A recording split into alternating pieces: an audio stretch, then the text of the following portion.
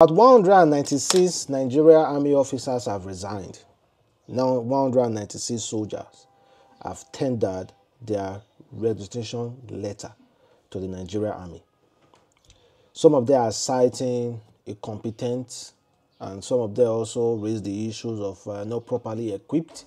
Some of them also raise the issue of uh, corruption, and some of them also raise the issue of so many other issues that we, you and I, generally no. But then again, the Nigerian Army will never, uh, will never admit to it. Maybe it's true or not true, or not true. Some of all those things, those uh, soldiers uh, cited that oh, these are the reason why we want to resign. And 196, none of them has has attained that retirement age. Young officers are tired of the system just resigned. Well, in every country, though, there are so many officers that may have decided to resign. In some issues, personal issues that is personal to them. But in Nigeria, we keep just romancing the whole issue as if we do not know why those officers are resigning, as if the reason that they stated are not genuine reasons that you and I know of. Well, 196 officers. We just lost 196 officers. Gallant officers just resigned just like that. Abba. I think is what the army chiefs, the big boss, should sit down and discuss and ask themselves why.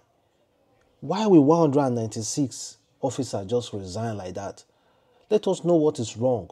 Let us try to work with them. Let us try to improve on their own demands. But then again, the army know exactly how to take care of themselves, exactly how to do their whole thing. Let's go back to Edo State. So recently, Adams Oshiomhole was with the APC candidate for Edo State governor. And this is what he said. We are going to provide you with insecurity. Even Adamson Shomole touch him like this. No waiting talk. He said, I am going to, if elected, I am going to provide you with insecurity. He said, if elected, I am going to provide you with insecurity. Inasmuch as I have so much respect for Adams Oshiomhole, eh? I have said it before. For me, Adams Oshiomhole is still the best governor we have ever had in Edo State. And there's not anybody will tell me. That's my own personal opinion. And in as much as, I have so much respect for Ad, uh, Adamson Shomole, that one no mean say I no go talk. eh? Let me make this clear. When Babu tell us that, when that man told us that Nigeria from top to bottom,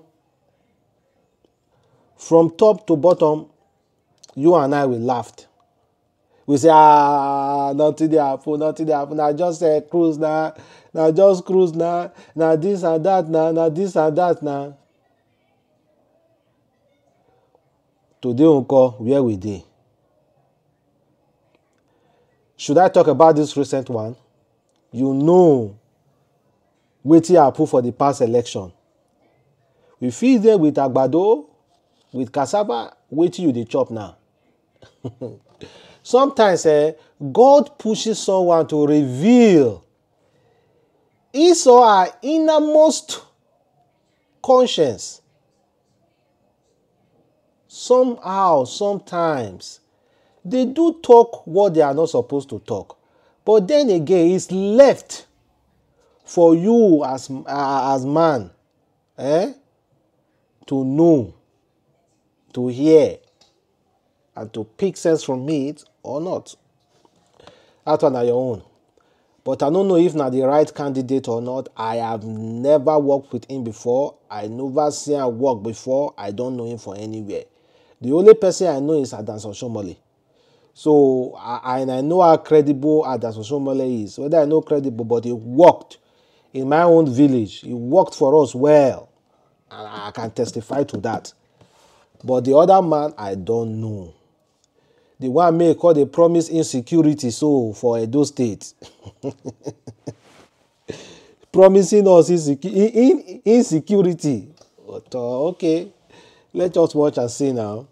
And meanwhile uh, the current edo state governor obaseki just recently announced that because of the fuel scarcity and the issue we are having about fuel and the price of fuel now that uh, the resumption of schools should be should be placed on hold till further notice. Make students no go school till further notice because of the price because of the prices different prices of fuel currently in Nigeria. Well, thank you for this gesture, Mr. Governor, but please, eh, leave our student out of this. The best thing for you to have done, eh, just tell them, see, just tell, just announce that no worker should come to work. No worker should come to work. They should just stay home and you are going to pay them their full monthly salary. That is best if you want to do it. That is what other people are doing. Now, you win you don't know if the price of fuel will drop anytime soon. Nobody knows when the price of fuel will drop. No one knows. So let us say if now in the next four years now the price of fuel won't drop. So you mean our children to stay at home? That no school should resume? No now. I beg. Open school so make people go school. Open school make people go school. So that we can start training our leaders. Leaders of tomorrow. Open the school, please you can decide to say okay you you create buses for each each uh, school. Yeah that is also good now. It, it's something that can be actualized in all those government school to take home uh, kids and bring them uh, back to school. So that one is even way more better than saying all students should stay at home because of the fuel uh, price and there was I saw a video yesterday and I was so crazy I, I was so mad. This video seeing our able Nigeria people scooping foil I don't know what actually happened to the foil tanker but definitely something happened and uh, people started rushing scooping the foil and so on. We have seen a lot of disastrous uh, incidents before concerning foil but yet, people know they hear word. Although they have succeeded now, because when we we didn't hear of any disaster, they have succeeded. But that doesn't mean the next one that will fall, people will also succeed in successfully scooping the fuel without any incident of fire. Please, when you see such issue, eh, run away from that place. Run away from that place. Run. Please, no join their scoop for it. Let them succeed. You do not know if it's when you are coming to that place, how did it go scatter? So run away from that place. Run, oh. That's my advice for you guys. But before we end this video, let us listen to our president. You know, when he came back from, uh, I don't know, he's not back from China yet. Um, he's apparently back from China. I don't know whether I don't come back or, but he did a press conference recently. Let's listen to him. The more we want everything free, the more we want everything free, the more it becomes expensive to develop. That's it. It's, it's difficult some good roads here. I want to emulate and reflect it back home.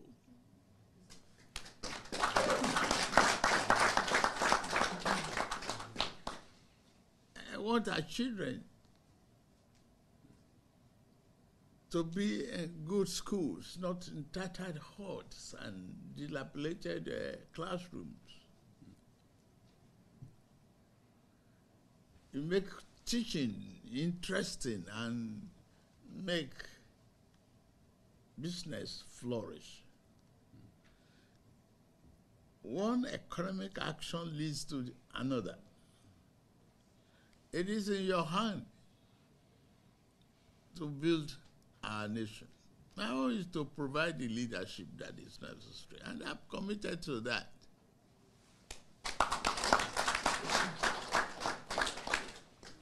It's not all about politics. If you are afraid of taking the hard decision when it is time to do it, you probably will not be able to build a national consensus any day, anytime. So take action when it is necessary. We will do that. I promise you good governance. A lot of us uh, e don almost choke us so abeg this your actions you are taking uh, i hope i hope there is something good in future because uh, we have lost hope as nigerians and it's not our fault. We have had so many leaders who have who have had so many beautiful speeches before about national development, but at the end of the day, nothing to show for it. That is why most Nigeria will find it hard to believe the president. It is not Nigeria's fault. The only thing a common Nigerian man is looking for is food, availability of it. No be Nigeria fault o, because we have been deceived constantly. How do you now treat someone who have been deceived all his or her life? It will be hard for you to start rebuilding that trust. So no blame Nigeria at all for them not believing one word.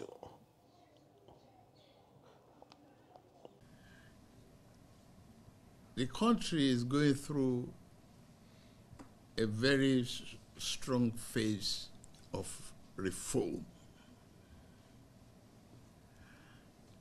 And this reform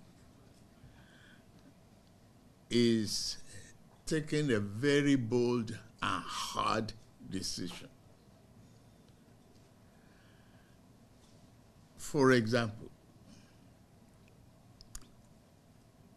you might be hearing from whom now in the last few days about fuel prices. But can we help it? Can we develop? You use their good roads there. Ah. You see electricity being constant. You see water supply being constant and running. And you see their good schools. And we say we want to hand over a banner without stain to our children. What is the critical path to get us there? If we cannot take hard, painful decisions to pave the way for that country that is so blessed, so talented, so many of you talents here speaking Chinese and all, you know, their language.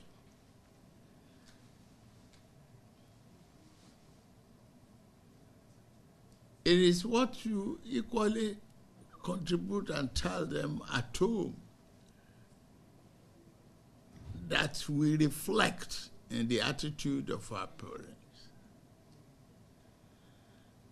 The more we want everything free,